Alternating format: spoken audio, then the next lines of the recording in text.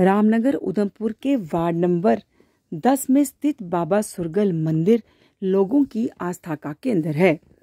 इस मंदिर में लोगों की काफ़ी ज़्यादा आस्था है। माना जाता है कि यहाँ पर कुछ भी सच्चे मन से मांगने से सारी मुरादें पूरी होती हैं। लोग यहाँ पर दूर दूर आकर बाबा सुरगल के दर्शन करते हैं, उनके दरबार में हाजिरी देते हैं और अपनी मन मानी मुरादें पाते हैं।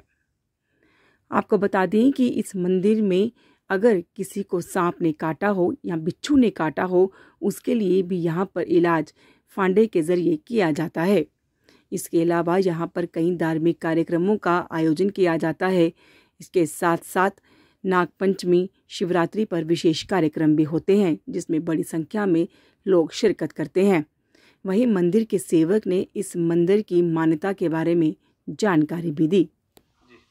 जय बाबा सुरगुल देव जी जय सच्चिदानंद हर हर महादेव सभी भक्तों को मैं शिव बाबा सुरगुल मंदिर का सेवादार ये रामनगर वार्ड नंबर 10 च मंदिर है बाबा सुरगुल देव का नाग देवता जी ने ये मंदिर कोई लगभग कोई सठ सत्तर साल पुराना प्राचीन मंदिर है पहले गुरु महाराज जी जेह्ड़े बद्रीनाथ जी ओह् करदे हे इद्धर सेवा देख रेख उं'दा थी फ्ही जेल्लै ओह् पूरे होई गे उ'नें को- पूरे होने कोला पैह्लें कोई दो साल पैह्लें उ'नें मिगी इत्थै स्थान उप्पर बठाया गद्दी उप्पर हून कोई लगभग कोई दस बारां साल होई गे कि इस स्थान दी सेवा करदे हाँ ते एह् नाग देवता ने एह् बाबा जी दे कन्नै एह् बाबा जी करदे हे मिस्त्रियां दा कम्म ध्याड़ी धूड़ी लांदे हे ते उं'दे कन्नै आप शंभू बालक रूप च इक बालक आया हा छोटा जेहा ते उ'नें इद्धर बाबा जी लेआए उसी शाम नू उत्थै ते उ'नें दुद्ध दे दलस्सी जेह्ड़ी इद्धर बाबा जी दा हत्था दा ग्रहण कीती ते ओह् बाबा जी गैब होई गे हैं दिक्ख फ्ही लब्भे है निं ओह् ਹੈ ਫਿਰ ਉਹ ਤੋਂ ਕੋਲ ਬਾਅਦ ਕੀ ਹੋਇਆ ਕਿ ਇਹ ਬਰਮੀਆਂ ਲੱਗਣਾ ਸ਼ੁਰੂ ਹੋਈਆਂ। ਤਾਂ ਬਾਬਾ ਜੀ ਕੀ ਪ੍ਰਵੇਸ਼ ਆਣਾ ਲਈ ਪਿਆ ਚੌਕੀ ਵਗੈਰਾ, ਬਾਬਾ ਜੀ ਨੇ ਬੋਲਿਆ ਕਿ ਮੈਂ ਆਏ ਦਾ ਜੱਗ ਦਾ ਕਲਿਆਣ ਕਰਨ ਵਾਸਤੇ। ਕਿਉਂਕਿ ਉਹਨੇ ਖੱਟੀ ਉੜਦੇ ਹਨਾ ਜਿੰਨੀ ਬਰਮੀ ਲੱਗਦੀ ਤਾਂ ਉਨੀਆਂ ਹੁਣ ਬਾਹਰ ਸੁੱਟੀ ਹੁੰਨੀਆਂ ਉਹ ਦੂਆ ਦਿਨ ਫਿਰ ਉਹਦੇ ਕੋਲ ਜ਼ਿਆਦਾ ਲੱਗੀ ਆਣ। ਫਿਰ ਬਾਬਾ ਜੀ ਇਸਲੇ ਹੁਕਮ ਹੋਇਆ ਬਾਬਾ ਜੀ ਦਾ, ਫਿਰ ਉਹਦੇ ਕੋਲ ਬਾਅਦ ਇਹ ਬਾਬਾ ਜੀ ਦਾ ਸਥਾਨ ਜਿਹੜਾ ਕਿ ਬਾਬਾ ਜੀ ਮਹਿਮੇ 'ਚ ਪਈ ਭਗਤੀ 'ਚ। ਫਿਰ ਉਹਦੇ ਕੋਲ ਬਾਅਦ ਇਹ ਸਾਰਾ ਜਿਹੜਾ ਕਿ ਤਿਆਰ ਕੀਤਾ ਬਦਰੀਨਾਥ ਜੀ ਨੇ। ਗੁਰੂ ਮਹਾਰਾਜ ਨੇ। ਇਹਦੇ ਬਰਮੀ ਵਿੱਚ ਆ ਬਾਬਾ ਜੀ ਨੇ ਇੱਕ ਮੂਰਤੀ ਵੀ ਪ੍ਰਗਟ ਹੋਈ ਦੀ ਹੈ ਜਿਹੜੀ ਮਨਸਾ ਮਾਤਾ ਜੀ ਦੀ ਮੂਰਤੀ ਹੈ ਉਹ ਬਰਮੀ ਦੇ ਵਿੱਚ ਪ੍ਰਵੇਸ਼ ਦੇ ਵਿੱਚ ਬਾਬਾ ਜੀ ਨੇ ਬਰਮੀ ਕੀ ਖੋਦੀ ਹੈ ਤ੍ਰਿਸ਼ੂਲ ਕਰਨਾ ਉਹਦਾ ਵਿੱਚੋਂ ਦਾ ਪ੍ਰਗਟ ਹੋਈ ਦੀ।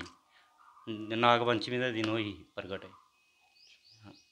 ਕਿ ਇਥੇ ਕੁਝ ਸਾਲ ਭੰਡਾਰਾ ਹੁੰਦਾ? ਭੰਡਾਰਾ ਇਧਰ ਨਾਗ ਪੰਚਮੀ ਤੇ ਸ਼ਿਵਰਾਤਰੀ ਕੀ ਕਰਵਾਉਂਦੇ ਬਾਬਾ ਜੀ ਭੰਡਾਰਾ ਦੀਪਾਵਾਲੀ ਕੀ ਵੀ ਪੂਜਣ ਵਗੈਰਾ ਹੁੰਦਾ ਹਨੂਮਾਨ ਜੰਤੀ ਕੱਲ ਉਸ ਉੱਪਰ ਵੀ ਪ੍ਰੋਗਰਾਮ ਹੋਇਆ।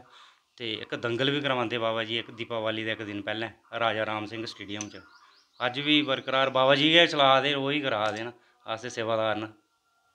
ਅੱਛਾ ਜਿਹੜੇ ਲੋਕ ਇੱਥੇ ਆਣਾ ਚਾਹੁੰਦੇ ਹੁੰਦਾ ਕਿਤੇ ਕੀ ਹੋਇਆ ਇੱਧਰ ਆਣ ਬਾਬਾ ਜੀ ਦੇ, ਬਾਬਾ ਜੀ ਦੇ ਕੁਸੇ ਅਗਰ ਕੋਈ ਤਰੀਨਾ ਹੁੰਦਾ, ਕੋਈ ਡੰਗ ਵਗੈਰਾ ਵਿੱਚੂ ਵਗੈਰਾ, ਕੋਈ ਨਾਗ ਦੇਵਤਾ, ਕੋਈ ਡਸਿੰਦਾ ਕੁਸੇ, ਉਹ ਆਣ ਭੂਤੀ ਫਾਂਡਾ ਵਗੈਰਾ ਕਰਨੇ ਆਸ ਬਾਬਾ ਜੀ ਦਾ ਉਹ ਠੀਕ ਹੋ ਜਾਂਦੇ ਬਾਕੀ ਇਆਂ ਵੀ ਕੁਸੇ ਉੱਪਰ ਕੋਈ ਭੂਤ ਪ੍ਰੇਤ ਦਾ ਕੋਈ ਛਾਇਆ ਹੋਵੇ ਉਸੇ ਵੀ ਬਾਬਾ ਜੀ ਦੀ ਭੂਤੀ ਦਿੰਨੇ ਝਾੜਾ ਝੂੜਾ ਕਰਨੇ ਬਾਬਾ ਜੀ ਦਾ, ਉਹ ਵੀ ਠੀਕ ਹੋ ਜਾਂਦੇ ਅਗਰ ਕਈਆਂ ਜੀਆਂ ਬੱਚੇ ਨਹੀਂ ਹੁੰਦੇ ਨਾ ਤੇ ਬਾਬਾ ਜੀ ਬੱਚੇ ਵੀ ਦਿੰਦੇ ਕੋਈ ਬੇਨਤੀ ਕਰਨ ਬਾਬਾ ਜੀ ਦਾ, ਮੱਥਾ ਟੇਕਣਾ, ਝੰਡਾ ਵਗੈਰਾ, ਗੁੜ ਰੋਟ ਵਗੈਰਾ ਸੁਖਣਾ ਪੈਂਦਾ ਬਾਬਾ ਜੀ ਦਾ, ਤੇ ਉਹਦਾ ਘਰ ਔਲਾਦਾਂ ਵੀ ਹੁੰਦੀਆਂ।